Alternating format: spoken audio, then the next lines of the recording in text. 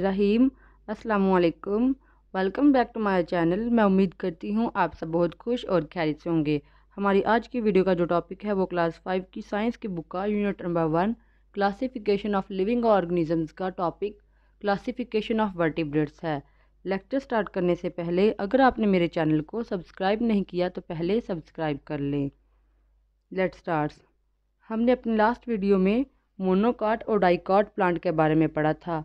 हम इसको रिकॉल कर लेते हैं। ऐसे पौधों के बीज जो एक कॉटिलेडन पर मुश्तमिल हों, वो मोनोकॉट और जिन पौधों के बीज दो कॉटिलेडन पर मुश्तमिल हों, इन्हें हम डाइकॉट प्लांट कहते हैं।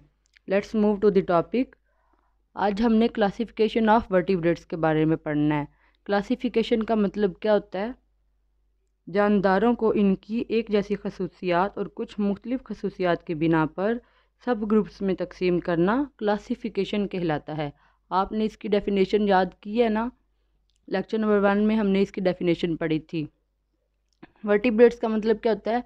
ऐसे जानदार जिनके अंदर वर्टिब्रल कॉलम या रीढ़ की हड्डी मौजूद हो, उन्हें हम वर्टिब्रेट्स कहते हैं। हमारे पास है आगे reading the vertebrates are divided into five groups vertebrates को पाँच ग्रुप्स में तकसीम किया गया है। Fish amphibians, reptiles, birds and mammals. Fish. Fish live in water मछली पानी में रहती है। Both ends of their body are pointed इसकी बॉडी के दोनों एंड्स स्टार्टिंग एंड और लास्ट वाला एंड दोनों क्या है? पॉइंटेड एंड नोकदार हैं। आप देख सकते हैं यहाँ से फिशेस की जो पिक्चर्स नज़र आ रही हैं। सब में क्या है? फ़र्स्ट और लास्ट एंड जो है वो क्या है? पॉइंटेड एंड नोकदार है। ठीक है? और दरमियान से क्या है? फैला हुआ हिस्सा है। मछली का जो, ये वाला सरफेस एरिया ये क्या है? फैला हुआ है। क्या है? थिक है? और ब्रॉड है। The middle part is broad and thick मोटा और चौड़ा है। That is the body is boat shape जिसका मतलब ये कि बॉडी की जो शक्ल है, वो क्या कश्ती की तरह की है। शुरू से और एंड से नोकदार है और दरमियान में से मोटी और चौड़ी है। This body shape is most suitable to swim to swim इस तरह की जो बॉडी शेप है, वो तैरने में बहुत मदद करती है।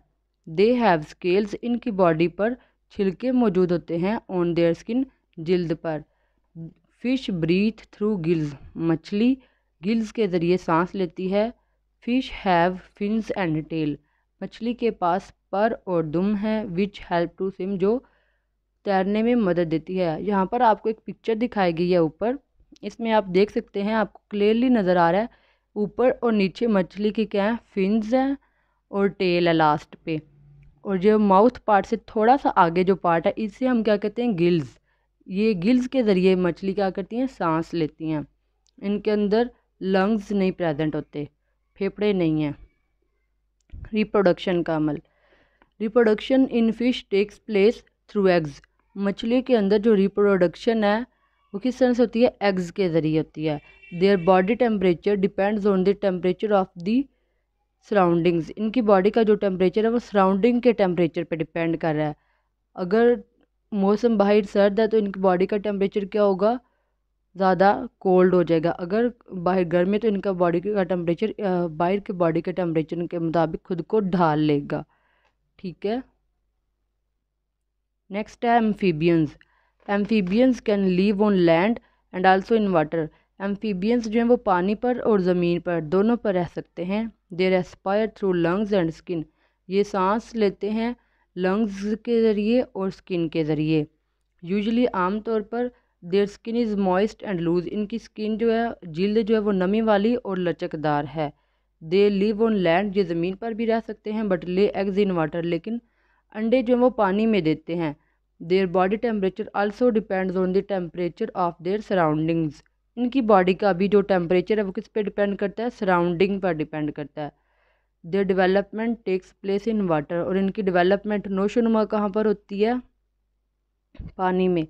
Frog toad salamander and newt are the examples of amphibians ये फ्रॉग टोड किसकी एग्ज़ाम्पल है? एम्फीबियंस की एग्ज़ाम्पल है। आपने इनकी एग्जाम्पल्स के साथ साथ दो दो कैरेक्टरिस्टिक्स याद कर लेनी है इनकी। ठीक है? Do you know why amphibians could not flourish in the whole world amphibians पूरी दुनिया पर क्यों नहीं पाए जाते? They are not found in desert and snow because they can not go away from water क्योंकि वो पानी से दूर नहीं जा सकते। क्योंकि उनकी जो डिवेलपमेंट है वो किधर होती है? पानी के अंदर। They depend on water for reproduction and development point to ponder what is the difference between a toad and a frog frog और टोड के अंदर क्या डिफरेंस है इन दोनों के अंदर? आप देख सकते हैं कि टोड की जो स्किन है वो क्या है? डार्क और बम्पी है थिक और बम्पी है। लेकिन जो फ्रॉग की स्किन है वो स्मूथ है। और जो फ्रॉग्स हैं वो क्या होते हैं? हार्मलेस होते हैं। ये पॉइजनस नहीं होते। लेकिन जो टोड्स हैं, ये पॉइजनस होते हैं। जहरीले होते हैं डेंजरस होते हैं। नेक्स्ट है reptiles reptiles are called creeping animals ऐसे जानदार जो रेंगते हैं, उन्हें क्या कहते हैं? Reptiles their skin is thick coarse and dry इनकी जो जिल्द है, वो मोटी और खुश्क है which protect their body from external effects जो इनको बैरूनी असरात से बचाती है। Reproduction in these animals takes place through eggs इनके अंदर भी जो रिप्रोडक्शन का अमल है, वो एग्ज़ के ज़रिए ही हो रहा है। They lay eggs on land ये एग्ज़ कहाँ पर देते हैं? लैंड पर। हमने पीछे पढ़ा है, जो एम्फीबियंस हैं, ये ले करते हैं एग्ज़ इन वाटर आपने इनका डिफरेंस अच्छी तरह से याद करना है। Their body temperature also depends on the temperature of their surroundings इनकी बॉडी का टेम्परेचर भी इनकी सराउंडिंग पर डिपेंड करता है। Lizard crocodile snake and turtles are the examples of reptiles ये किसकी एग्जांपल्स हैं? रेप्टाइल्स की एग्जांपल्स हैं। डू यू नो रीड करते हैं? Dinosaurs were the largest reptiles of the ancient times कदीम ज़मानों में, कदीम वक्तों में डायनासॉर्स जो है, वो सबसे बड़े रेप्टाइल्स थे but they have become extinct लेकिन अब वो ख़त्म हो चुके हैं। एक्सटिंक्ट का मतलब है नापैद ख़त्म हो चुके। कंपेयर टू दी एम्फीबियंस अगर इनका मवाजना किया जाए एम्फीबियंस के साथ the reptiles flourished all over the world reptiles जो है, रिंगने वाले जानदार जो हैं, वो तमाम दुनिया में पाए जाते हैं। दुनिया के हर हिस्से में पाए जाते हैं because they do not depend on water for reproduction क्योंकि वो अपनी रिप्रोडक्शन के लिए पानी पर इन्हिसार नहीं करते। Birds the birds have feathers and beaks birds के पास फीदर्स और चूंच है। फीदर्स हम कहते हैं उनके पंख को। आपने देखा है कैट के अंदर जो उसके लंबे बाल होते हैं, उन्हें हम फर कहते हैं, लेकिन जो बर्ड्स के ऊपर होते हैं, उन्हें हम लोग फीदर्स कहते हैं। देयर बोन्स आर हॉलो इनकी हड्डियाँ खाली हैं। Thus their weight is less जिनकी वजह से इनका जो वेट है वो कम होता है। अलॉन्ग विद लंग्स लंग्स के साथ दे हैव एयर सैक्स इनके पास एयर सैक्स हैं। हवा की थैलियाँ मौजूद है, क्योंकि इनके पास लंग्स नहीं है। Birds can fly in the air परिंदे हवा में उड़ सकते हैं। Some birds can swim in water कुछ परिंदे ऐसे भी हैं जो पानी में तैर सकते हैं, जैसे कि duck some birds can not fly and are called running birds कुछ परिंदे ऐसे भी हैं जो ना ही तो फ्लाई कर सकते हैं और ना ही स्विम कर सकते हैं और वो दौड़ सकते हैं। उन्हें क्या कहते हैं? Kiwi and ostrich all birds lay eggs जितने भी बर्ड्स हैं, वो क्या करते हैं? एग्ज़ ले करते हैं। आप लोगों ने एग्ज़ तो देखे होंगे ना बर्ड्स के? हैन के एग्ज़ देखे हैं ना? आप मुझे कमेंट करें और बताएँ। The birds that live in water have webbed feet ऐसे परिंदे जो पानी में रहते हैं, उनकी वेब्ड फीट होती हैं। वेब्ड फीट का मतलब क्या है? जोरदार उंगलियों वाले पंजे होते हैं उनके। आप लोगों ने डक के फीट देखे हैं। डक के जो फीट होते हैं, वो वेब्ड फीट होते हैं। Their body temperature does not depend on the external environment इनकी बॉडी का जो टेम्परेचर है, वो एक्सटर्नल इन्वायरमेंट पर डिपेंड नहीं करता। Sparrow, pigeon, kiwi, rooster, dove, फाख्ता, मुर्गा पैरट तोता एंड ऑस्ट्रिच और शुतरमुर्ग are the examples of birds ये एग्जाम्पल्स हैं बर्ड्स की। नीचे हमारे पिक्चर्स में दिखाए गए हैं बर्ड्स आप देख सकते हैं। नेक्स्ट है mammals these animals give milk mammals हम उन जानवरों को कहते हैं जो मिल्क देते हैं मिल्क प्रोड्यूस करते हैं। They have fur or hair on their body इनकी बॉडी पर फर या हेयर्स मौजूद होते हैं। और हम कहते हैं लंबे बालों को।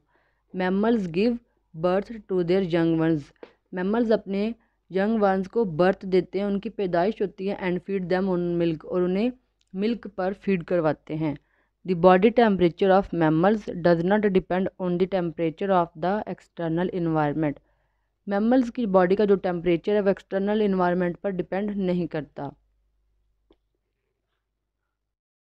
And human are the examples of mammals सारे क्या हैं? ये तमाम जो हैं मैमल्स की एग्जाम्पल्स हैं। मैं उम्मीद करती हूँ आपको आज के लेक्चर की अच्छी तरह से समझ आ चुकी है।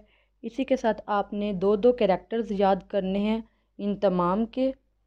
हमारा आज का जो लेक्चर है, वो मुकम्मल हो चुका है। आज के लेक्चर के रिव्यूज़ भी दें। अगर आपका कोई क्वेश्चन है तो आप मुझे ज़रूर कमेंट करें। मेरे आइंदा नए आने वाले लेक्चर्स के लिए हमारे चैनल को सब्सक्राइब कर लें। हम अपने नेक्स्ट लेक्चर में इनवर्टिब्रेट्स के बारे में पढ़ेंगे। तब तक के लिए मुझे दें इजाज़त, अपना बहुत सारा ख्याल रखिएगा। फिर अमान अल्लाह थैंक्स फॉर वॉचिंग